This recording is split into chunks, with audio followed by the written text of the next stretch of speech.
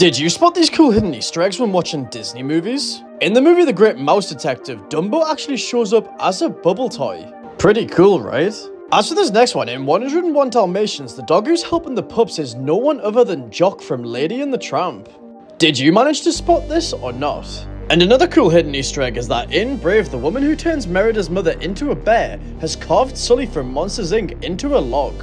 I'm not going to lie, first watching this, I never realised this, but watching it back, I could never unsee it. And lastly, this one is really cool, but almost every Pixar movie mentions Apple because the company was partially founded by Steve Jobs. So as you can see from this photo in Toy Story, when Andy is on his computer, in the top left corner you can see the Apple logo.